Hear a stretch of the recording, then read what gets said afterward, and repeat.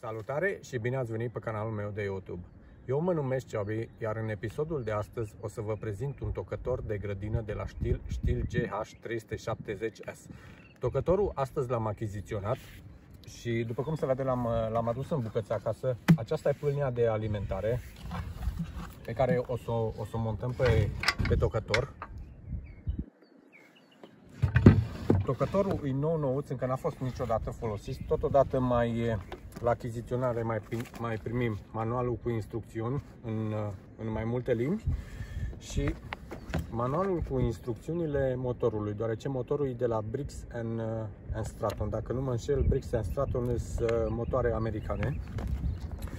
Totodată am mai primit niște chei.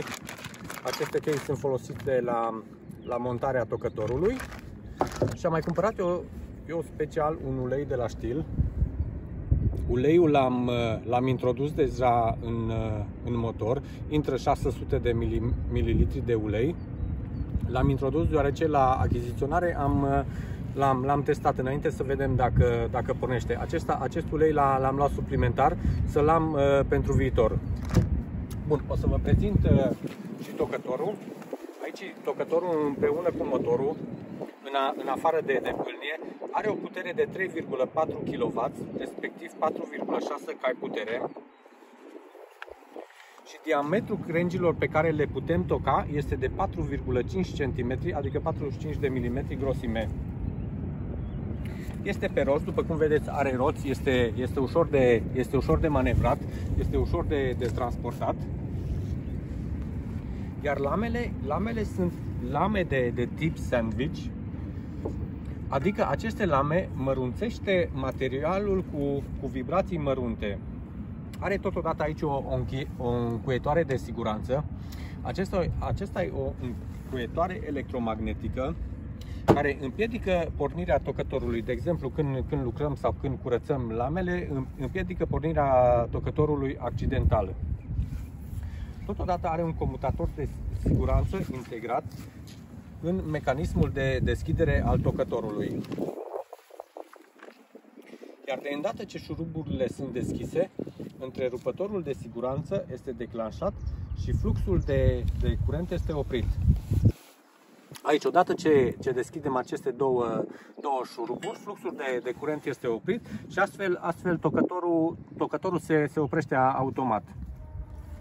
Are o greutate de 42 de kilograme Aici are, are filtru de aer. O să vă arăt și filtrul de aer, e nou nouț. Și acesta la, la fel să, după, după câteva bune, după 5-6 ore de, de lucru, se curăță, totdeauna se, se, se, cu un uh, compresor, se suflă iar când e foarte îmbă, îmbăxit se, se schimbă și se, se înlocuiește cu unul nou. Îl închidem. Bun. Acestea slamele de tip sandwich, după cum am menționat. Iar aici, aici mărunți, uh, resturile tocate, resturile vegetare care le, le toacă, le putem, uh, are două opțiuni. Ori să le aruncăm în față, ori, ori lăsăm această acest, acest, acest capac, nu știu cum se numește, acest capac îl lăsăm în jos și toate resturile vegetale le, o să le arunce în jos sau le aruncă puțin în față la, la distanță. O, să, o să-l și pornim astăzi după cum am menționat, deja l-am pornit la magazin, am băgat puțină benzină în el și l-am pornit la magazin, are puțină benzină înăuntru. Acesta e un motor în 4 timp, nu în 2 timp. Acesta funcționează cu benzină de 95, iar uleiul e separat în, în partea aceasta și uleiul l-am băgat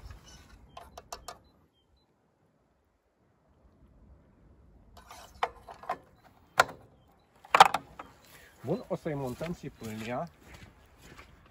Aceasta e pâlnia de alimentare, iar această pâlnie e izolată fonic și în mod normal la, la funcționare ea, motorul nu, când, când toacă elementele lemnoase, ramurile, nu, nu, o să, nu o să scoată, nu o să facă atâta zgomot.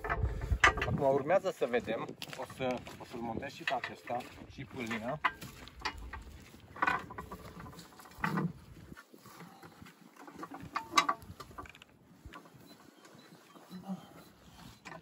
Felul acesta vine.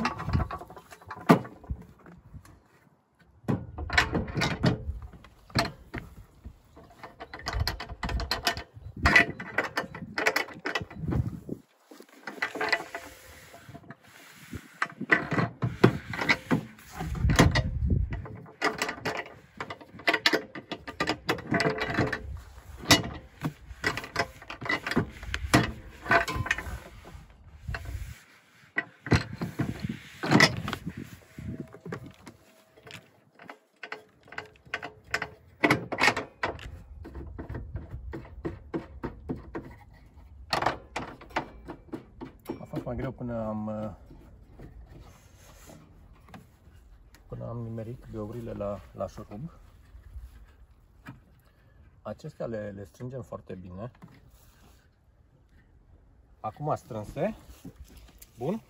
Hai te rog aici în spate. Aici are un buton de, de, de pornire-oprire.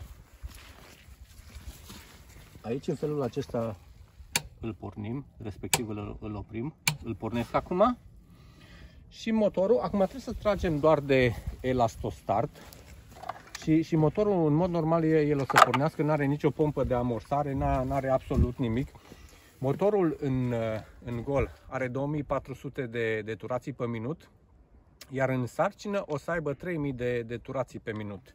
În mod normal, când introducem crengi, el, el o să se accelereze automat în funcție de, de încărcătura primită, în funcție de, de grosimea crengilor. Bun, o să-l pornim.